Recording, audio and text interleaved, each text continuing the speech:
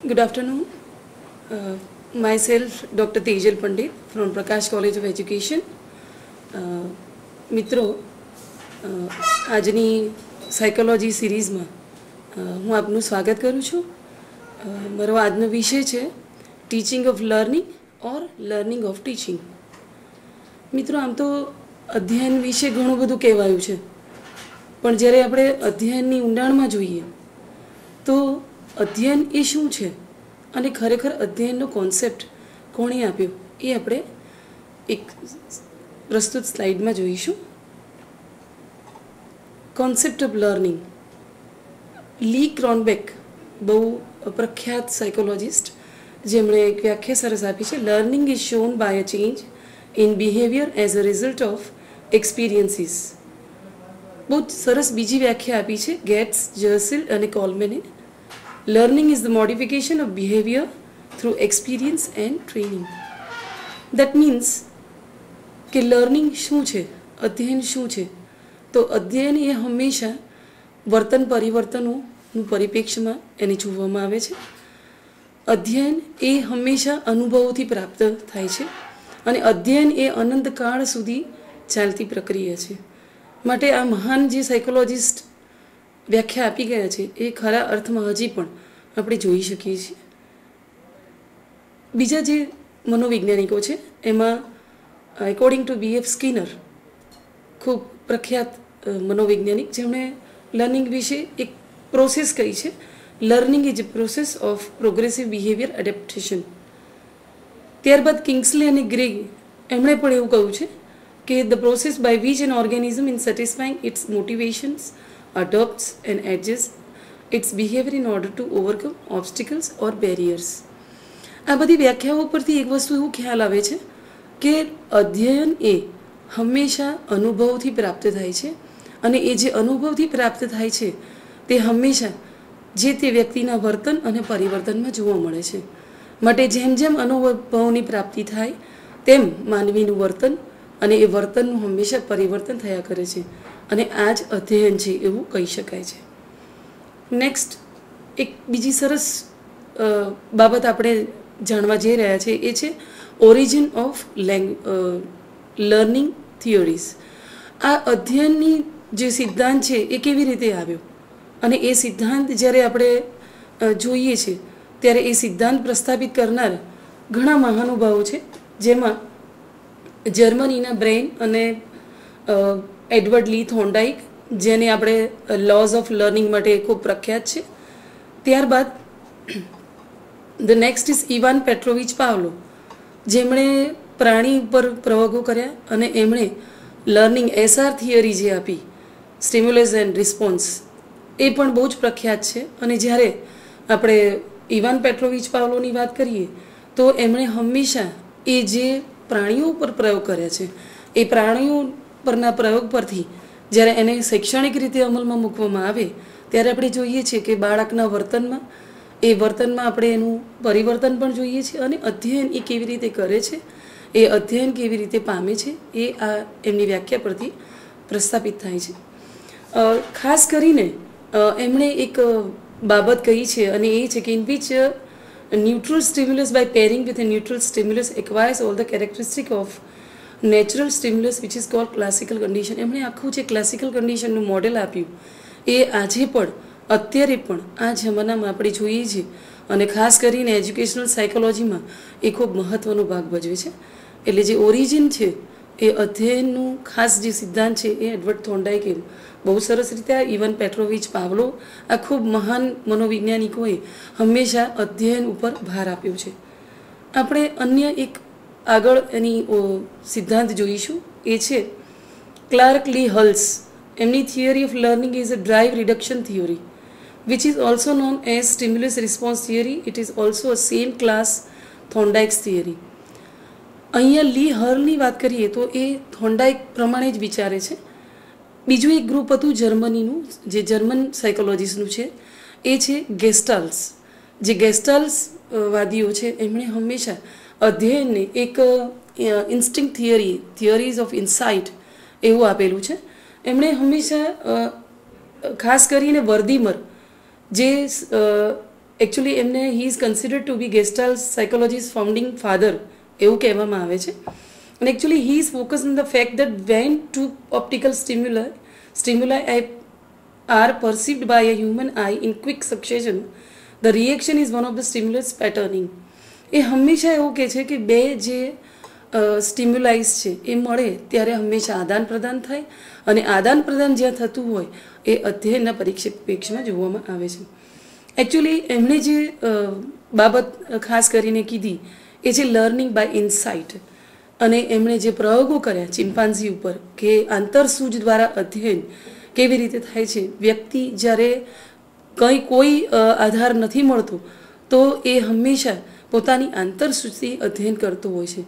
માટે આ જે ગેસ્ટાલ્સ જે સાયકોલોજીસ્ટ છે, એમણે અધ્યયનની ખૂબ ઊંડાણપૂર્વક સમજ આપણને આપી છે. આગળ એક જોઈશું ઓરિજિન ઓફ લર્નિંગ થિયરીઝ એમાં અહીંયા જે આપણે નામો જોઈ રહ્યા છે, એ હિસ્ટ્રી ઓફ સાયકોલોજી લર્નિંગ એમાંથી લેવામાં આવે છે. હું આપની સમક્ષ એક બ્રીફ હિસ્ટ્રી મૂકવા માગું છું કે આટલા મનોવૈજ્ઞાનિકોએ જે લર્નિંગનો કોન્સેપ્ટ આપ્યો છે, એ આપણે અત્યારે હાલ સમજી રહ્યા છીએ. અન્ય એક મનોવૈજ્ઞાનિક છે, એડવર્ડ ચેસ ટોલમેન એમણે પ્લેસ લર્નિંગ થિયરી એવું નામ આપ્યું. બીજા છે, જેરોમી સેમોર બ્રુનર.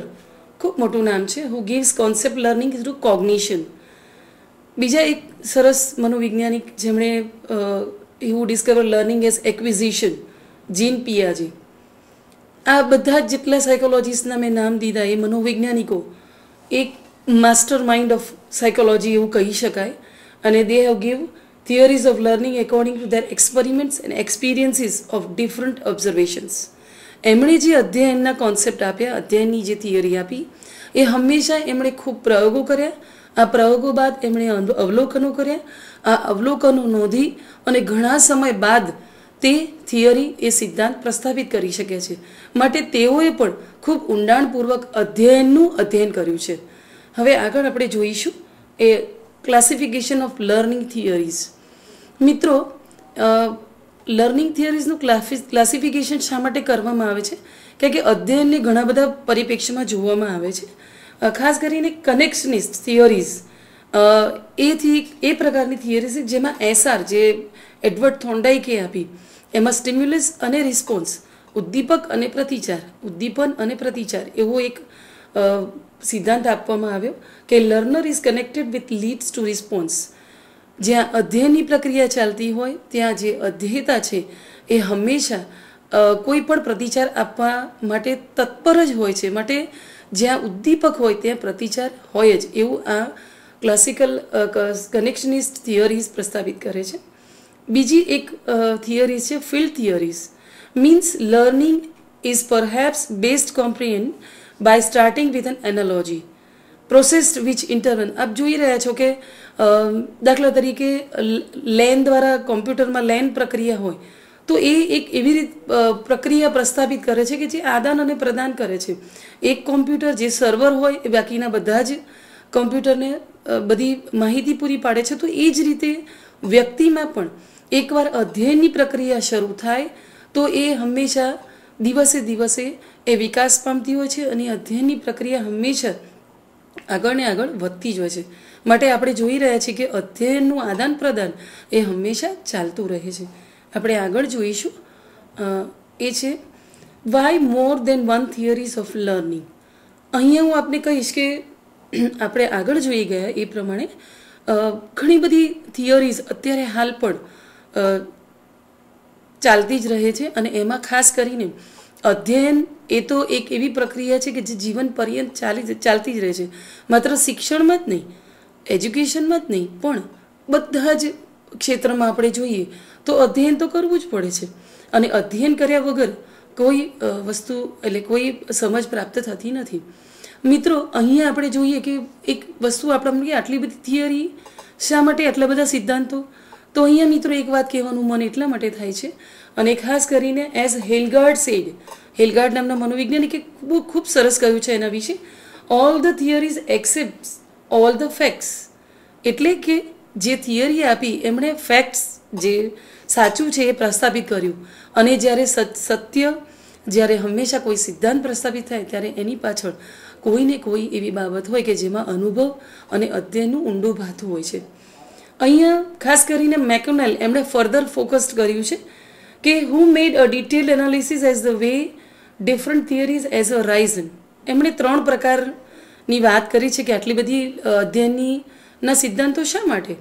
તો એમણે સૌથી એવું કે the different types of task learn in observational of પર મેન્ટલ સિચ્યુએશન્સ દાખલા તરીકે આપણે અહીંયા એક ઉદાહરણ લઈએ તો અહીંયા એવું કહી શકાય કે અધ્યયન એ એક એવા પરિપ્રેક્ષ્યમાં જોવાય છે કે અધ્યયન માટે હંમેશા એક ટાસ્ક હોય છે, એક એક્ટિવિટી હોય છે.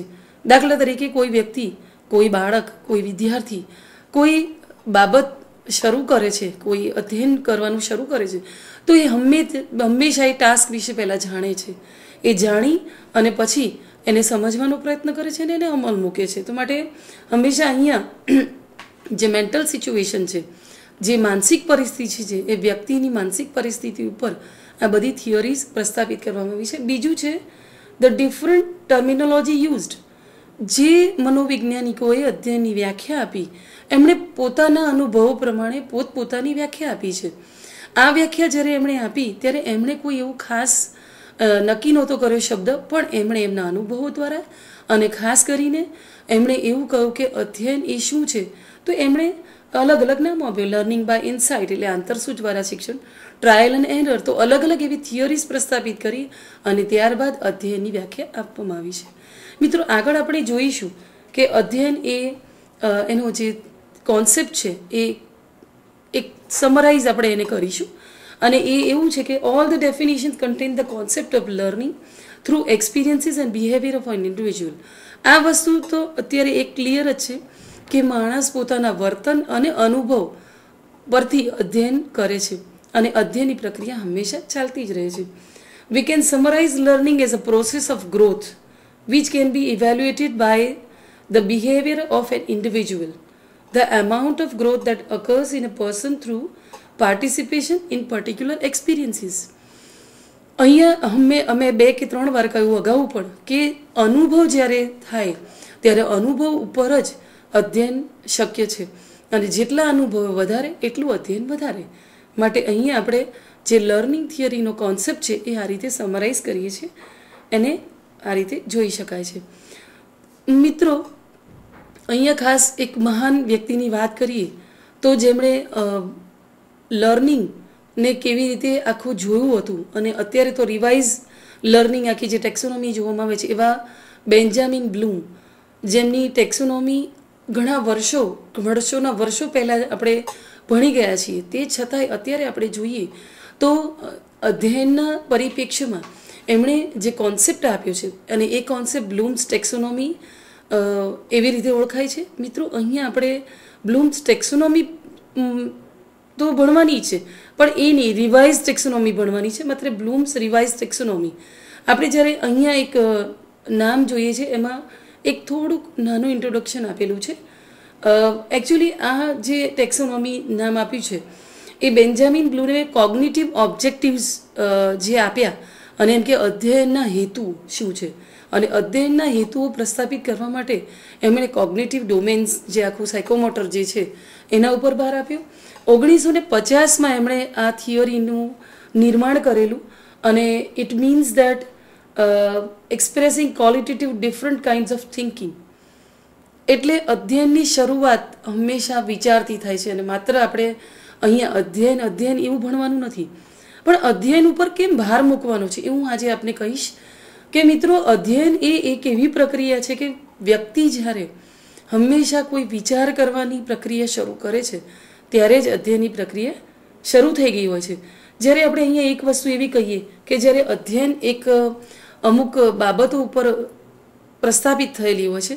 ત્યારે હંમેશા આપણે એક વસ્તુ અહીંયા ખાસ બ્લૂમ્સે કહ્યું છે એ પ્રમાણે થિંકિંગ વિચારવું. અને વિચાર એ જ અધ્યયન છે. એવું ખાસ આપણે કહી શકાય.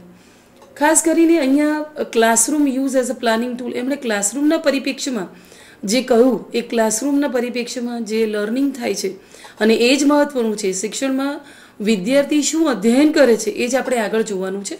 અને આ ટોપિક જે અત્યારે હું આપને ભણાવી રહી સમજાવી રહી છું, એ એ જ છે કે લર્નિંગ એ વિદ્યાર્થી, અધ્યયન એ વિદ્યાર્થીઓ માટે શા માટે અગત્યનું છે? અને ખાસ કરીને શિક્ષકો માટે શા માટે જરૂરી છે? અને એ જ આ બ્લૂમ્સ ટેક્સોનોમીનો થોડો આધાર લઈ અને આગળ આપણે થોડું જોઈશું.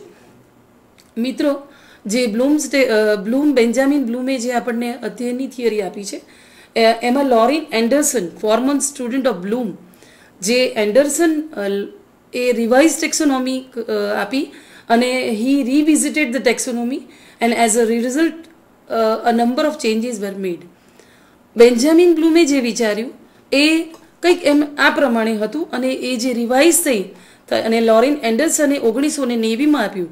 એટલે ચાલીસ વર્ષ બાદ જે બ્લૂમ્સ ટેક્સોનોમી રિવાઇઝ થઈ, એનો એમાં ફેરફાર કરવામાં આવ્યા. એ આપણે જોઈશું આ પ્રમાણે નેક્સ્ટ મિત્રો અહીંયા ખૂબ સરસ એક પ્રેઝન્ટેશન છે અને જે આપણને એવું કહે છે કે ઓરિજિનલ ટર્મ્સ જે હતી એ જરા આ પ્રમાણે હતી. એ આપ જોઈ રહ્યા છો કે ઉપરનો એરો જે છે એમાં જે evaluation synthesis analysis application comprehension અને નોલેજ હવે અહીંયા આપ જોયું કે એક બીજો એરો છે એ નીચેથી ઉપર ગયો. તો એકચ્યુઅલી આ જે રિવાઇઝ ટેક્સોનોમી છે જે એન્ડરસન દ્વારા કરવામાં આવી, એ કદાચ કંઈક આવું કહે છે કે પહેલાં મૂલ્યાંકન નહીં. પહેલાં સમજવું એવું નહીં, પણ ફર્સ્ટ સર્જવું ક્રિએટિવ આપણે હમણાં પહેલાં જ વિચારવું, વિચાર શક્તિની વાત કરી.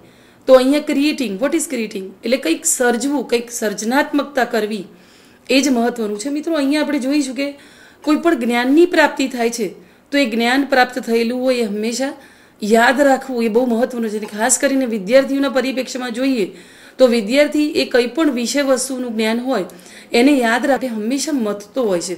અને આ જ્યારે યાદ રાખવાની પ્રક્રિયામાં એ મથતો હોય છે, એમાં અધ્યયનની પ્રક્રિયા ખૂબ અગત્યનો ભાગ ભજવે છે.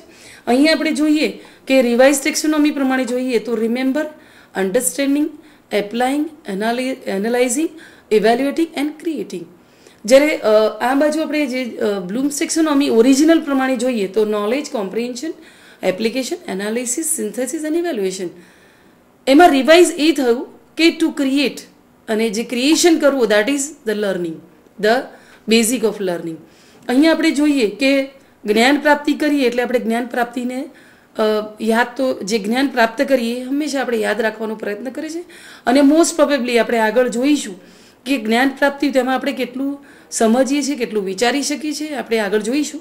પણ અત્યારે આપણે આ પ્રેઝન્ટેશન પ્રમાણે, આ સ્લાઇડ પ્રમાણે જોઈશું કે સૌથી પહેલાં આપણે જ્ઞાન પ્રાપ્તિ કરીએ તો એને યાદ રાખીએ છીએ, સમજીએ છીએ, એને એપ્લાય કરવાનો પ્રયત્ન કરીએ છીએ, એનું પૃથ્થકરણ કરીએ છીએ, એનું મૂલ્યાંકન કરીએ છીએ અને સમગ્ર બાબતને આ બધી જ પ્રક્રિયામાં ઢાળી અને કંઈક ક્રિએટિવ કંઈક સર્જવાની પ્રક્રિયા પસાર થતી હોય છે. માટે માટે વિદ્યાર્થી માટે આ પ્રક્રિયા ખૂબ અગત્યની છે કે વિષય વસ્તુને જાણે સમજે, એને યાદ રાખે, એને એપ્લાય કરે નવા નવા ઉદાહરણો સાથે એ સમજે, અને ત્યારબાદ એ એનું એનાલિસિસ કરે, સતત પૃથ્થકરણ કરે, અને એનું પોતાનું જ મૂલ્યાંકન કરે. જે તે વિષય વસ્તુ ભણે, તો એ પોતે જ મૂલ્યાંકન કરે સેલ્ફ ઇવેલ્યુએશન કે મેં આ વસ્તુ આટલી જાણી આટલી મને આવડે છે, અને એ પછી એના પરથી એ પોતે નવું ક્રિએશન કરે છે. મિત્રો, અહીંયા ખાસ કરીને ભાષાના જે વિષય વસ્તુ છે લેંગ્વેજ જે છે એ લેંગ્વેજમાં હંમેશા સર્જનાત્મકતા વધારે હોય છે. બીજા બધા વિષયો પણ સર્જનાત્મક છે. જેમ સાયન્સનો વિષય છે, તો એમાં ઘણું બધું સર્જવાનું હોય છે. પણ ખાસ કરીને અમુક ભાષાકીય બાબતો છે, જેમાં ભાષાનો જ આધાર લેવાનો હોય છે. અને એમાં દાખલા તરીકે કંઈ વાર્તા લખવાની હોય, મુદ્દા પરથી, કોઈ વિષય પર એસે લખવાનું હોય, તો એમાં સર્જનાત્મક શક્તિનો વધારે ઉપયોગ થતો હોય છે. તો એમાં આ ઓર્ડર બહુ કામમાં આવે છે કે જ્યારે વિદ્યાર્થી આ ઓર્ડર પ્રમાણે કામ કરે એ જો આ અધ્યયનની પ્રક્રિયા પ્રમાણે કામ કરે તો એનું અધ્યયન ખૂબ સારું થયું ગણે. મિત્રો, આગળ આપણે જોઈશું. એ છે ક્લાસરૂમ રોલ્સ ફોર રિમેમ્બરિંગ હવે અહીંયા આપણે જો, જે મુદ્દો અત્યારે હાલ આપણો ચાલી રહ્યો છે, એ એ છે કે લર્નિંગ માટે ટીચિંગ કરવાનું છે કે ટીચિંગ માટે લર્નિંગ કરવાનું છે? એટલે અધ્યયન માટે અધ્યાપન માટે અધ્યયન કરવું પહેલાં જરૂરી છે. એટલે આમ તો જોવા જઈએ તો શિક્ષકનો રોલ એ બહુ મહત્વનો છે. અહીંયા બ્લૂમ્સ ટેક્સોનોમી પ્રમાણે અહીંયા શિક્ષક અને સ્ટુડન્ટ એ બંનેના રોલ આપે છે કે જ્યારે શિક્ષક વર્ગમાં કંઈ પણ કરતો હોય, તો વિદ્યાર્થી એ શું રિસ્પોન્સ આપે છે? પેલી એસઆર થિયરી પ્રમાણે. કે શિક્ષક કંઈ પણ ઉપાર્જન કરતો હોય, તો સામે વિદ્યાર્થી કેવો રિસ્પોન્સ આપે છે, કેવો પ્રતિચાર આપે છે. Classroom roles for remembering actually revise taxonomy પ્રમાણે જે યાદ રાખવાનું છે, એમાં શિક્ષક શું કરે છે? શિક્ષકનો શું રોલ છે? એ આપણે જોઈએ. તો એ ડાયરેક્ટ કરે છે, એ કહે છે ટેલ્સ કંઈ બતાવે છે એક્ઝામિન કરે છે ક્વેશ્ચન કરે છે અને ઇવેલ્યુએટ કરે છે. શિક્ષકનું કામ આટલું છે કે એ હંમેશા વિદ્યાર્થીઓનું ધ્યાન દોરે છે, એ હંમેશા વિદ્યાર્થીઓને કહે છે, એ કોઈ બાબત જણાવે છે, વિષય વસ્તુની બાબત જણાવે છે, એ એ બાબત અનુસાર એ બતાવે છે કે દાખલા તરીકે ભાષાકીય બાબતો હોય તો એ ભાષાકીય બાબતોને એ રીતે સમજાવે છે. કોઈ એવી બાબત છે કે માત્ર ભાષા દ્વારા નથી સમજાતી, તો એના માટે એ ચાર્ટ્સ છે પિક્ચર્સ છે પાવર પોઈન્ટ પ્રેઝન્ટેશન છે કંઈ પણ એ બતાવી શકે છે. ત્યારબાદ એ એ એના પરથી એ પ્રશ્નો કરી શકે છે. એ પ્રશ્નો કર્યા બાદ એ મૂલ્યાંકન કરે છે. આટલી પ્રક્રિયામાંથી શિક્ષક પસાર થાય છે, ત્યારે વિદ્યાર્થી શું કરતો હોય છે એ ખૂબ સમજવું જરૂરી છે. વિદ્યાર્થી હંમેશા રિસ્પોન્સ આપવા તૈયાર, પ્રતિસાદ હંમેશા આપતો હોય છે. એ હંમેશા આતુર હોય છે કે શિક્ષક શું ભણાવશે શિક્ષક શું લાવ્યા છે? અને શિક્ષકની એ પોટલીમાં રહેલું જે શિક્ષણ, જે અધ્યયન છે, એ અધ્યયન એ પીરસે છે તો એ હંમેશા લેવા માટે આતુર હોય છે. ખાસ કરીને એ યાદ રાખે છે રેકોગ્નાઇઝ એટલે એ સમજે છે મેમરાઇઝ એટલે એને યાદ રાખવાનો પ્રયત્ન કરે છે ડિફાઇન્સ એટલે એને, એની સંકલ્પના એ આપે છે ડિસ્ક્રાઇબ કરે છે એને રિટેલ્સ એટલે ફરીથી પણ કહે છે અને પેસિવ રિસિપિયન્ટ એકચ્યુઅલી સ્ટુડન્ટ એક પેસી રેસિપિયન્ટ છે. સ્ટુડન્ટનો રોલ એ છે કે એ હંમેશા કંઈક પ્રાપ્ત કરે છે. અને જ્યારે અધ્યયનની પ્રક્રિયામાં કંઈક પ્રાપ્ત કરવું હોય, તો સામે અધ્યાપનની પ્રક્રિયા આ રીતે થયેલી હોય, તો જ રિમેમ્બર જે આપણે યાદ રાખવાની જે અધ્યયનની પ્રક્રિયા છે, એ હંમેશા સાચા પરિપ્રેક્ષ્યમાં સાબિત થાય છે. મિત્રો, આગળ આપણે જોઈશું નેક્સ્ટ પ્રેઝન્ટેશનમાં ક્લાસરૂમ રોલ્સ ફોર અન્ડરસ્ટેન્ડિંગ આપણે અગાઉ જોઈ ગયા કે રિમેમ્બર તો એમાં શિક્ષકનો રોલ શું છે અને વિદ્યાર્થીનો રોલ શું છે? અને અત્યારે આપણે જોઈશું કે અન્ડરસ્ટેન્ડિંગ સમજવા માટે વિદ્યાર્થી સમજી શકે, એના માટે શિક્ષક શું કરી શકે અને વિદ્યાર્થી શું કરી શકે. અહીંયા મિત્રો આપણે જોઈએ કે શિક્ષક વિદ્યા, વિદ્યાર્થી સારી રીતે સમજી શકે, માટે આટલું કરી શકે છે. એક તો ડેમોન્સ્ટ્રેશન ખાસ કરીને શિક્ષકે હંમેશા વર્ગમાં માત્ર વ્યાખ્યાન પદ્ધતિથી ન ભણાવવું જોઈએ, પણ એણે અત્યારે તો આપ જોઈ શકો છો કે સારામાં સારા વિઝ્યુઅલ એઇડ્સ અને ઓડિયો વિઝ્યુઅલ એઇડ્સ કે કંઈ પણ ઘણા બધા એવા સારા સાધનો છે ટીચિંગ એઇડ્સ છે કે જેમાં એ બહુ આસાનીથી વિદ્યાર્થીને ડેમોન્સ્ટ્રેટ કરી શકે છે અને એનામાં ક્લેરિટી લાવી શકે છે. જ્યારે વિદ્યાર્થી આ ડેમોન્સ્ટ્રેટ થતું હોય, ત્યારે એ હંમેશા એને બહુ સારી રીતે સમજી શકતું હોય છે. ત્યારબાદ ટીચર એ દાખલા તરીકે કોઈ વ્યાખ્યા પૂછે છે એ બાબતની, તો એ વ્યાખ્યાને સારી રીતે એ વ્યાખ્યા સાંભળે, એ વ્યાખ્યા સાંભળી અને એ વ્યાખ્યાનું ઇવેલ્યુએશન કરે અને એ વિદ્યાર્થીને સાચો છે કે ખોટો છે? અને ખોટો હોય તો એને ખોટો સાબિત નથી કરવાનું, પણ સાચું શું છે એ સમજાવવાનો પ્રયત્ન કરવાનો છે. માટે હંમેશા શિક્ષકે વિદ્યાર્થીને અધ્યાપન અને અધ્યાપ, અધ્યયનની પ્રક્રિયામાં ખોટું શું છે એ કરવા કરતાં સાચું શું છે એનું અધ્યયન કરાવવું વધારે જરૂરી છે. મિત્રો, આપ, આપણે જોયું અગાઉ પણ કે અધ્યયનની પ્રક્રિયા એ આમ જોવા જઈએ તો થોડી જટિલ છે, પણ શિક્ષકના હાથમાં બધું જ છે કે જટિલ પ્રક્રિયાને કેવી રીતે સરળ બનાવી અહીંયા અન્ડરસ્ટેન્ડિંગના પરિપ્રેક્ષ્યમાં જોઈએ તો એ પ્રશ્ન પૂછે છે કમ્પેર કરે છે કોન્ટ્રાસ્ટ કરે છે એક્ઝામિન કરે છે. એવા બધી જે બાબતો છે એ શિક્ષકના રોલમાં પણ સામે વિદ્યાર્થી શું કરે છે એ બહુ સરસ મજાનું છે. એ એક તો ટ્રાન્સલેટ કરે છે ડેમોન્સ્ટ્રેશન થયેલું જે છે, એ ડેમોન્સ્ટ્રેટ્સ જે થયેલું છે, એને સમજે છે ઇન્ટરપ્રિટ કરે છે, અને એક્ટિવ પાર્ટિસિપેશન તમે જુઓ કે અન્ડરસ્ટેન્ડિંગની જ્યારે અધ્યયનની પ્રક્રિયા થતી હોય, ત્યારે student is an active participate એનું એક્ટિવેશન વધી જાય છે, પોતે સક્રિય બની છે, અને એ સતત જાગૃત રહે છે કે શિક્ષક જે જે અમુક મિનિટોમાં કે અમુક સમયગાળામાં જે કરતો હોય છે, એ વિદ્યાર્થી હંમેશા આતુર બની જતો હોય છે. માટે અન્ડરસ્ટેન્ડિંગની પ્રક્રિયા એ યાદ રાખવાની પ્રક્રિયા માટે ખૂબ જરૂરી છે. અને શિક્ષક હંમેશા સારી રીતે કરે એ જરૂરી છે.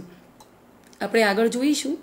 ક્લાસરૂમ રોલ્સ ફોર એપ્લાઇંગ આપણે અત્યારે જે જોઈ રહ્યા છીએ પ્રેઝન્ટેશન એ બ્લૂમ્સ રિવાઇઝ ટેક્સોનોમી પ્રમાણે આપણે પ્રેઝન્ટેશન જોઈ રહ્યા છીએ અને એમાં આપણે બે જોયું કે રિમેમ્બરિંગ એન્ડ અન્ડરસ્ટેન્ડિંગ શિક્ષક વિદ્યાર્થી યાદ રાખે તેના માટે શું કરી શકે? અને અન્ડરસ્ટેન્ડિંગ વિદ્યાર્થી સમજી શકે એના માટે શું કરી શકે. હવે મિત્રો આપણે જોઈએ છીએ કે એપ્લાઇંગ કેવી રીતે એપ્લાય કરી શકાય ટીચરનો રોલ શું છે એપ્લાઇંગમાં એમાં જોઈએ તો શોઝ એઝ આપણે જોયું આગળ facilitates observes evaluates organise and questions અગાઉ જોઈએ કે દરેક પ્રક્રિયામાં ક્વેશ્ચન્સ તો આવે જ છે. પણ ખાસ કરીને એ જે વિષય વસ્તુનું છે એનું એપ્લાય કેવી રીતે કરવું એ ખૂબ જરૂરી છે. સોલ્વ પ્રોબ્લેમ સ્ટુડન્ટ્સ રોલમાં આપણે જોઈએ તો એ ઉદાહરણ જે આપેલું હોય એ ઉદાહરણ હંમેશા આપવા એને ઉદાહરણને એ હંમેશા સુલઝાવવાનો પ્રયત્ન કરતો હોય છે. ડેમોન્સ્ટ્રેટ્સ યુઝ ઓફ નોલેજ જે ડેમોન્સ્ટ્રેટ થયું હોય, એને એના વ્યવહારિક જ્ઞાનમાં ઉપયોગ કરતો હોય છે. કેલ્ક્યુલેટ્સ અમુક એવા જે કેલ્ક્યુલેશન આધારિત જે વિષયો છે, એ એને કેલ્ક્યુલેટ જે ગણતંત્ર કૌશલ્ય છે એ પ્રાપ્ત કરે છે. કમ્પાઇલ્સ કદાચ કોઈ એવી બાબત હોય કે જેને કમ્પાઇલેશન જરૂરી છે, તો એ પોતે કમ્પાઇલ કરતો હોય છે. કમ્પ્લીટ્સ કોઈ અધૂરા જે અધૂરી બાબત છે અને શિક્ષક દ્વારા પૂછવામાં આવે, તો અધૂરી બાબત એ પોતે જે સમજ્યો હોય અને પોતાની મેમરી દ્વારા કહેવા, કહેવાતું હોય, તો એ પોતે કમ્પ્લીટ કરે છે. ઇલ્યુસ્ટ્રેટ એ પોતે પણ પોતાના ઉદાહરણ આપે છે અને કન્સ્ટ્રક્ટ્સ પોતાનું કંઈક સર્જી અને નવું પણ કંઈક કહે છે અને અહીંયા પણ એનું પાર્ટિસિપેશન એક્ટિવ હોય છે. માત્ર તમે જોયું કે મિત્રો, બે જે પ્રક્રિયા છે ખૂબ મહત્વની છે. ખાસ કરીને અન્ડરસ્ટેન્ડિંગની અને એપ્લાયિંગની આ બંને પ્રક્રિયામાં વિદ્યાર્થીનો રોલ એક્ટિવ રોલ છે અને એ એક્ટિવ રોલ હંમેશા રહે એવું જ શિક્ષક દ્વારા હંમેશા સતત કરવામાં આવે તો એ જરૂરી છે. મિત્રો, આગળ આપણે જોઈશું કે classroom rules for analysing revise taxonomy પ્રમાણે આપણે એનાલાઇઝિસ જોઈશું. તો એમાં ટીચર્સ રોલ શું છે? તો he probe something he guides he observes evaluates acts as a resource questions organises and dissects મિત્રો, અહીંયા એક સરસ શબ્દ છે x act as a resource actually શિક્ષક એ આપણે જાણીએ છીએ કે શિક્ષક તો એ જ્ઞાનનો ભંડાર હોવો જ જોઈએ. અને જો એ જ્ઞાનનો ભંડાર ન હોય, તો એ અધ્યાપન કેવી રીતે કરાવી શકાય? માટે અહીંયા જે મુદ્દો આપણે જે હાલ ચાલી રહ્યો છે, એ જ છે કે ખરેખર અધ્યાપન માટે અધ્યયન વધારે જરૂરી છે. અધ્યયન માટે તો અધ્યાપન જરૂરી છે, પણ અધ્યયન કેવી રીતે થવું જોઈએ? એના માટે પણ અધ્યયન વધારે જરૂરી છે. મિત્રો, એક વસ્તુ ખૂબ અગત્યની છે કે અધ્યાપન એ એક સામાન્ય સરળ પ્રક્રિયા છે અને એ પ્રક્રિયા વધારે સરળ બને એ માટે ખૂબ ગહન અધ્યયન જરૂરી છે. માટે શિક્ષક માત્ર એમ જ વર્ગમાં જાય અને વર્ગમાં જઈ અને એ માત્ર એમ કે બસ ચાલો આજે ભણી લઈએ. એવું નહીં. મિત્રો, એ ઘણું બધું પીરસતું હોય છે. એક્ટ એઝ અ રિસોર્સ મેં એટલા માટે જ આ શબ્દ અત્યારે આપણને વધારે બહાર મૂકું છું કે રિસોર્સ હી એ સ્ત્રોત છે. જ્ઞાનનો સ્ત્રોત છે. જ્ઞાનનો ભંડાર છે. અને જ્યારે જ્ઞાનનો ભંડાર એક વિદ્યાર્થીઓની સમક્ષ એ જ્ઞાનનો ભંડાર પીરસાતો હોય, તો વિદ્યાર્થી હંમેશા એ જ્ઞાનનો ભંડાર પ્રાપ્ત કરવા માટે આતુર જ હોય છે, જો એ પ્રક્રિયા સારી રીતે થતી હોય છે. મિત્રો, અહીંયા આપણે વિદ્યાર્થીનો રોલ જોઈએ, તો એ હંમેશા ડિસ્કશન કરવા માટે પ્રેરાતો હોય છે. અનકવર્સ આર્ગ્યુઝ કરતો હોય છે, ડિબેટ્સમાં પણ એ ભાગ લેતો હોય છે, થિંક્સ ડીપલી કોઈ એવી સિચ્યુએશન મૂકી દેવામાં આવે તો ત્યાં વિદ્યાર્થી એ પોતે ગહન ઊંડાણપૂર્વક વિચાર કરતો હોય છે. ટેસ્ટ જે આપણે જોઈએ છીએ એનાલિસિસ માટે બેસ્ટ વે છે. અને અધ્યયનની પ્રક્રિયામાં અત્યારે હાલ તો આપણે જોઈએ છીએ કે જાત જાતના ટેસ્ટ લેવામાં આવે છે. ઓબ્જેક્ટિવ ટાઈપમાં ખાસ એનું ભારણ મૂકવામાં આવે છે. તમે જોયું કે અનાત્મલક્ષી ટેસ્ટ એ ખૂબ અત્યારે અગત્યના થઈ ગયા છે.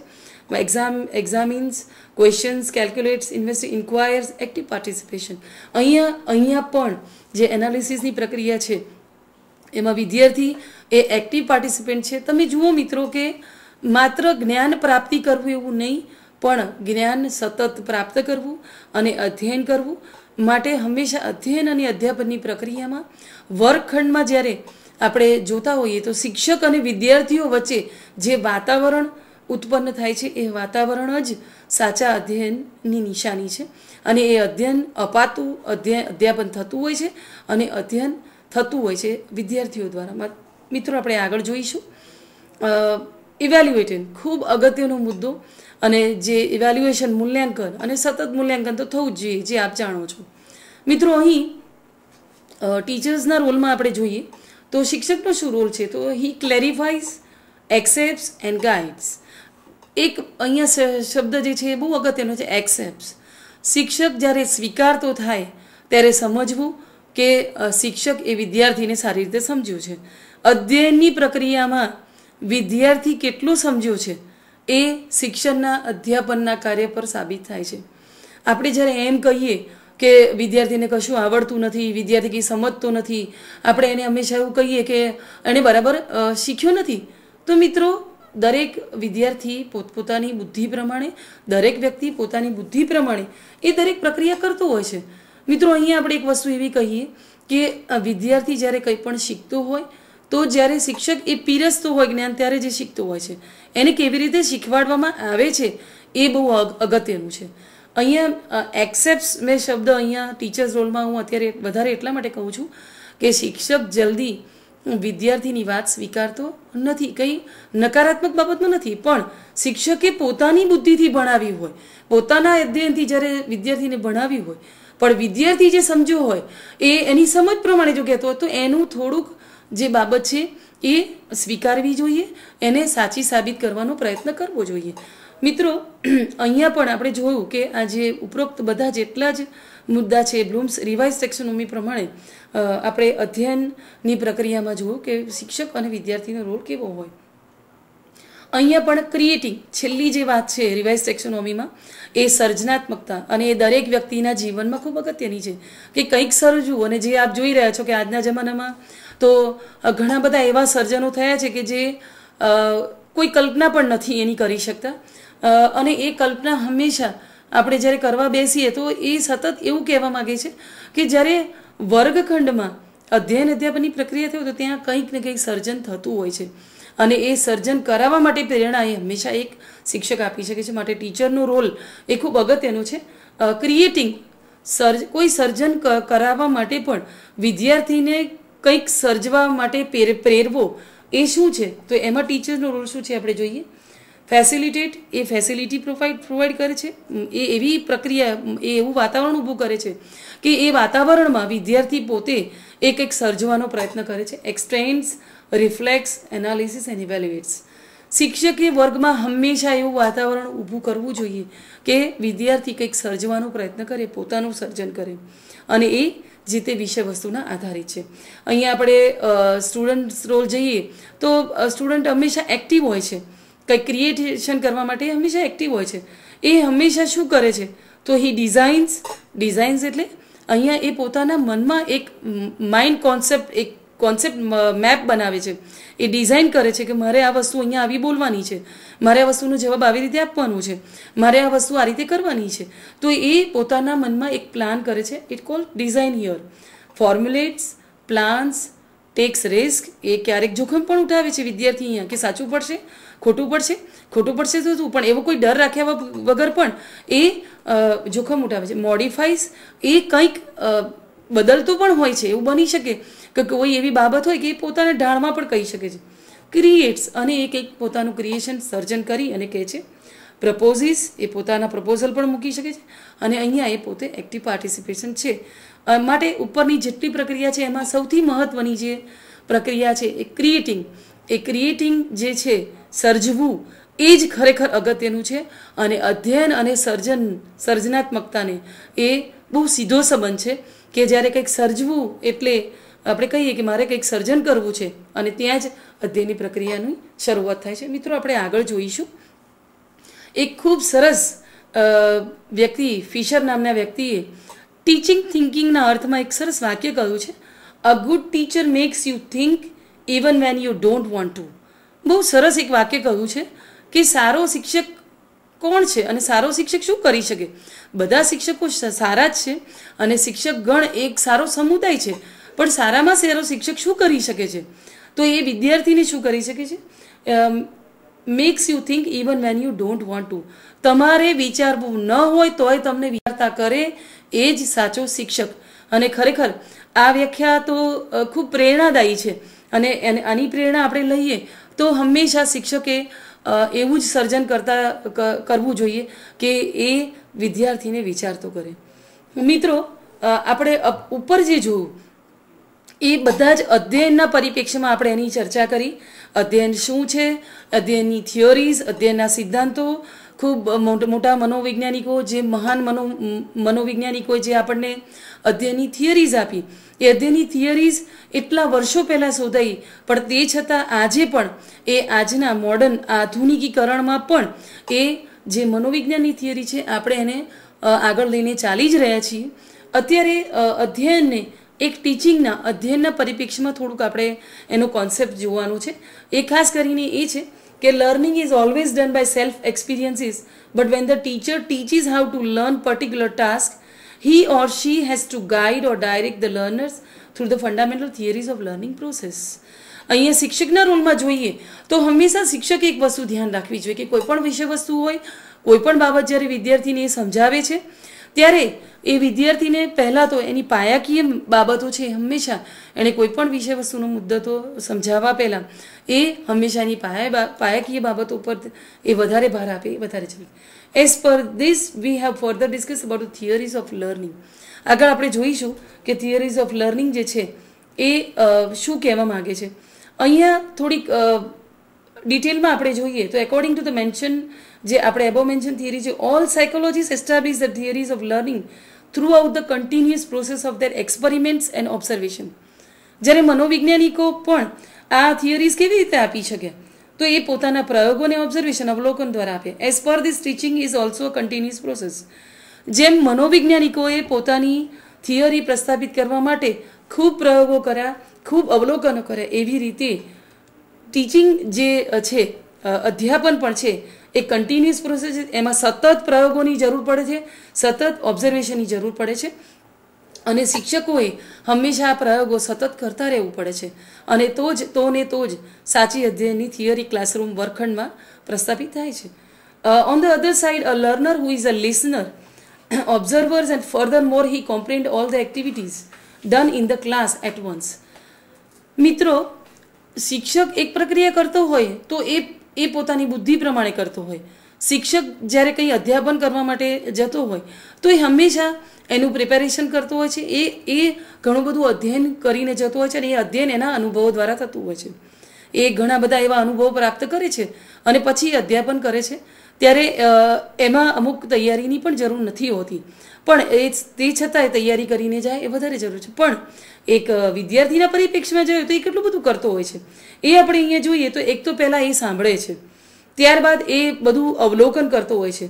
ત્યારબાદ એ બધું ઘણી બધી પ્રક્રિયા, ઘણું બધું વિષય વસ્તુ હોય એને ભેગું કરી અને એને કોમ્પ્રિહેન્ડ કરતો હોય છે. અને ત્યારબાદ એ પોતે એક્ટિવ રહેતો હોય છે. માટે અહીંયા શિક્ષક કરતાં વિદ્યાર્થીનો રોલ મહત્ત્વનો બની જાય છે.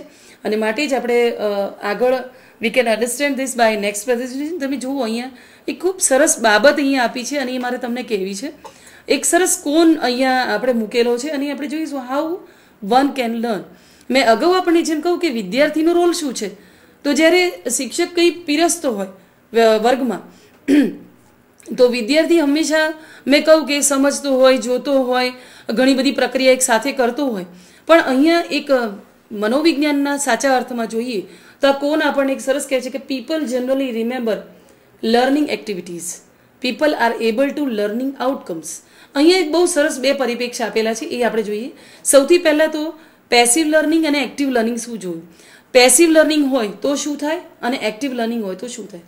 અહીંયા જે આપણી એક સાઈડમાં લખેલું છે કે people generally remember learning activities જે નીચે આપેલી છે એમાં વ્યક્તિ, એટલે દાખલા તરીકે વિદ્યાર્થીના પરિપ્રેક્ષ્યમાં પણ આપણે જોઈએ, તો વ્યક્તિ એ કેટલું ક્યારે જાણી શકે, કેટલું યાદ રાખી શકે? તો દસ ટકા, ten percent of what they read જે વાંચેલું હોય એ એને દસ ટકા યાદ રહે છે, એવું આપણે કહી શકીએ. આ કોણ આપણને એ પ્રસંગ? વીસ ટકા જે છે એ એણે સાંભળેલું છે, એ યાદ કરી શકે છે. ત્યારબાદ ત્રીસ ટકા એ જે એણે જોયેલું છે, એ યાદ કરી શકે છે. And fifty percent of what they see and hear જે એ સાંભળે છે અને જુએ છે, એ એને પચાસ ટકા યાદ રહે છે. Seventy percent of what they say and write સિત્તેર ટકા એ એ કહે છે અને લખે છે તો યાદ રહે છે. અને ninety percent of what they do એ જે કરતા હોય એમાંથી એને નાઇન્ટી પર્સન્ટ યાદ રહે છે.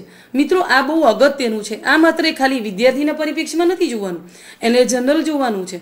મનોવિજ્ઞાનના અર્થમાં જોઈએ તો આ સાચું ઠરેલું છે કે જ્યારે આપણે જોઈએ કે ઘણીવાર આપણે કહેતા હોય છે કે લખી લખીને વાંચો, લખી લખીને સમજો.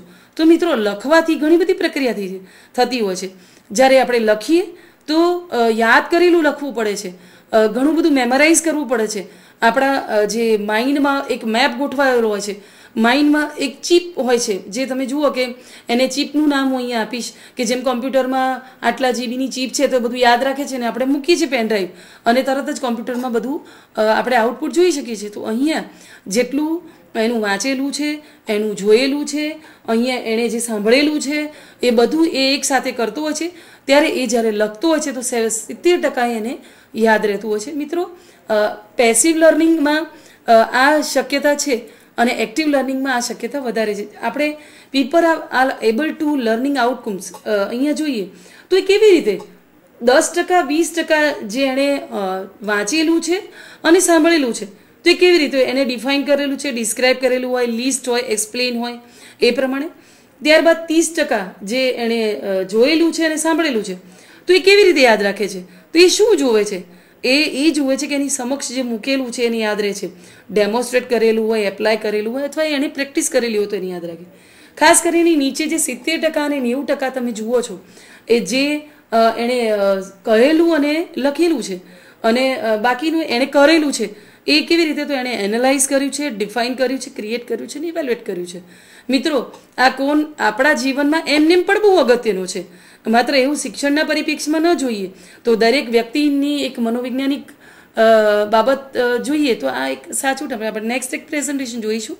એ આ ડિસ્ક્રાઇબ જે કર્યું એ છે એ પ્રમાણે the above cone of learning describe how much we can receive all the information at a time only listening about some particular topic is not remember for long time આપણે જે પર્સન્ટેજ વાઇઝ આપણે જોયું કે નેવું ટકા એ જે કામ કરેલું હોય તો યાદ રહે છે સિત્તેર ટકા, પચાસ ટકા, ત્રીસ ટકા, વીસ ટકા ને દસ ટકા.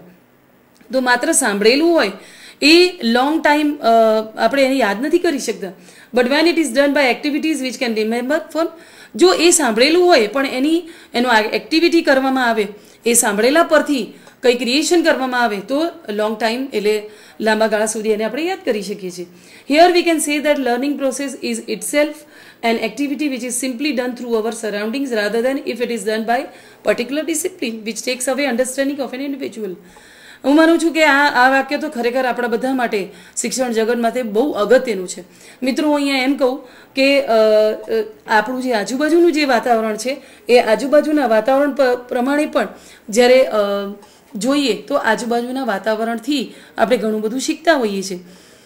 મિત્રો, અહીંયા વિદ્યાર્થીના પરિપ્રેક્ષ્યમાં જઈ, જોઈએ તો વિદ્યાર્થી માત્ર એક ડિસિપ્લિનમાં હંમેશા વર્ગમાં બેઠો હોય અને શિક્ષક પણ એક એવું રાખતો હોય છે આગ્રહ કે હંમેશા વિદ્યાર્થી ડિસિપ્લિનમાં જ હોવું જોઈએ. અને જો એ ડિસિપ્લિનમાં આવે છે ત્યાં એક અધ્યયનની પ્રક્રિયામાં ક્યાંક એક થોડુંક નબળાઈ આવી જતી હોય છે અને એટલા માટે જ એવું એવું કહેવાય છે કે જો એને એક સરળ રીતે, સરળ પ્રક્રિયા બનાવી દેવામાં આવે તો વિદ્યાર્થી ઘણું બધું સારું સર્જતો હોય છે. મિત્રો, આપણે આગળ જોઈશું. ખૂબ સરસ બાબત છે કે અહીંયા કહેલું છે કે there are many theories which inform the art of teaching and they should do so in combination rather than being viewed as exclusionary binary opposites અહીંયા બે ત્રણ એવી બાબત છે કે જે કોન્સેપ્ટ મેપ પર કહેલી છે અને એ એટલા માટે કહે છે કે good teaching what is good teaching અને એ ગુડ ટીચિંગ શું કરી શકે છે?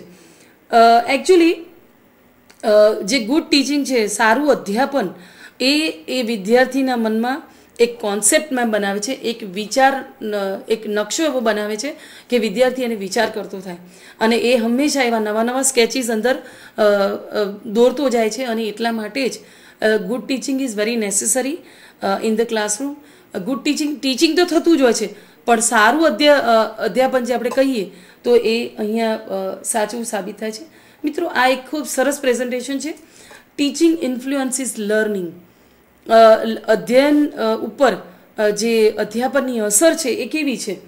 હંમેશા એના એના, એની કેવી એક્સપેક્ટેશન હોય છે અને એના કેવા રૂલ છે એ આપણે સમજીએ. મિત્રો, વિદ્યાર્થી દાખલા તરીકે આજે વર્ગમાં આવે છે. ખૂબ સરસ મજાનું એનું માનસિક અવસ્થા છે, ખૂબ સરસ ફ્રેશ થઈને આવે છે. અને જેવો વર્ગમાં આવે છે ત્યારે એને એક એમ એવી એક્સપેક્ટેશન સાથે આવે છે કે આજે મને ઘણા બધા વિષયોમાં ઘણું બધું જ્ઞાન પ્રાપ્ત થવાનું છે. અને હંમેશા વિદ્યાર્થી આતુર જ હોય છે. પણ મિત્રો, અહીંયા જ્યારે અધ્યાપનની અસર આપણે જોઈએ તો અહીંયા ખાસ કરીને how to teach why to teach what to teach and when to teach આ જે ડબલ્યુ એચ ક્વેશ્ચન છે, જે જેને ખરેખર આપણે હંમેશા દરરોજ એક શિક્ષક તરીકે વિચારવા જ જોઈએ ને પછી જ ક્લાસરૂમમાં જવું જોઈએ. મિત્રો હાઉ ટુ ટીચ એ તો અધ્યયનની બાબત છે કે શિક્ષકે કેવી રીતે ભણાવવું? એ તો શિક્ષક પર જ આધાર છે. એના પોતાના જ્ઞાન પર આધાર છે. એના પોતાના વ્યક્તિત્વ પર આધાર છે. એની પોતાની અધ્યયન પ્રક્રિયા પર આધાર છે. એટલે હાઉ ટુ ટીચ એ તો જે તે શિક્ષક પર. પણ એ વિદ્યાર્થી કેવી રીતે શીખશે એ શિક્ષકની અધ્યયન પ્રક્રિયા પર જરૂરી છે.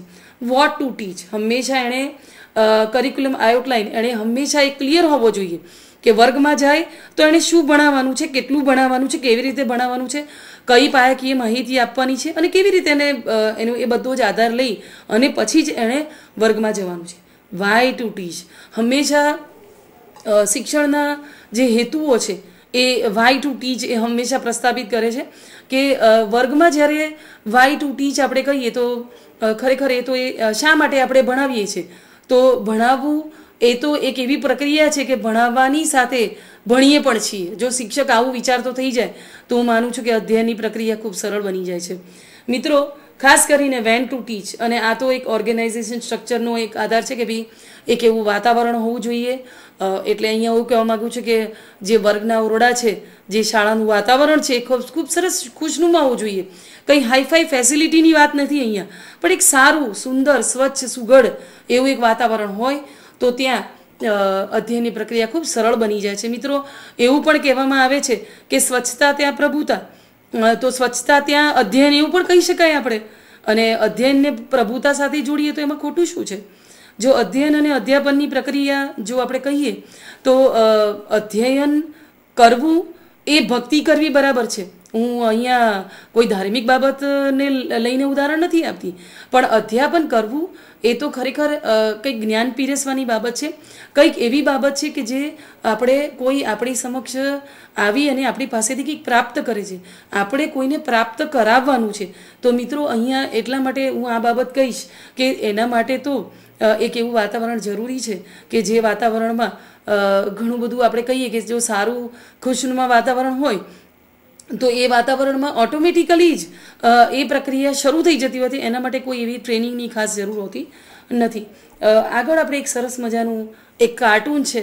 એ કાર્ટૂન ખૂબ સરસ મજાનું છે. આપ જોઈ શકો છો કે હંમેશા શિક્ષક હોય એ આવું બધું બલૂન્સ ઓફ લર્નિંગ મેં અહીંયા અધ્યયનના બલૂન્સ આપના માટે હું લઈ આવી છું.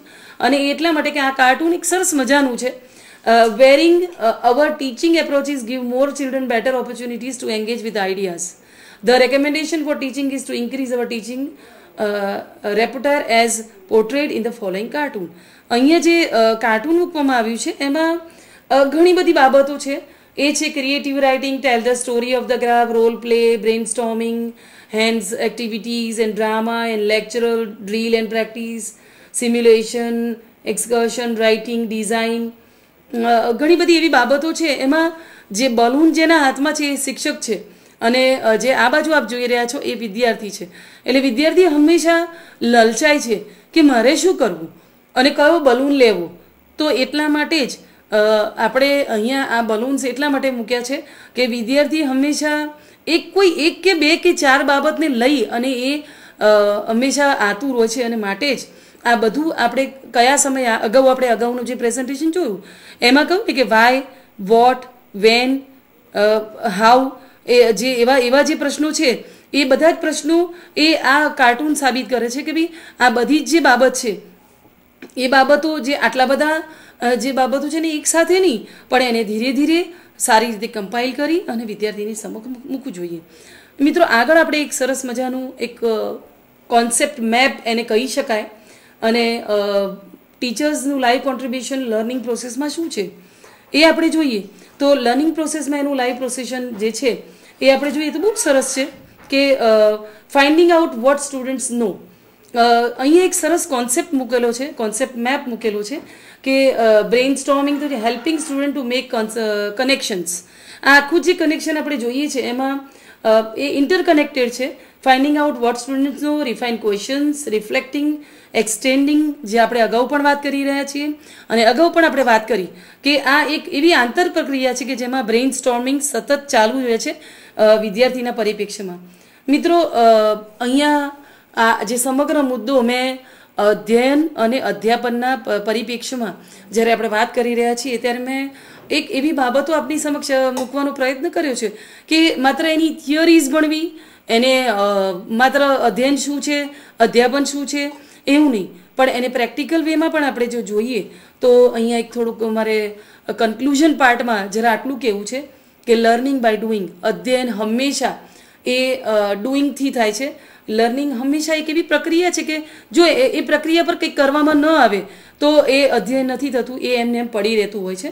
લર્નિંગ બાય એક્ટિવ પાર્ટિસિપેશન હંમેશા લર્નિંગ એ એક્ટિવ પાર્ટિસિપેશન માગી રહી છે.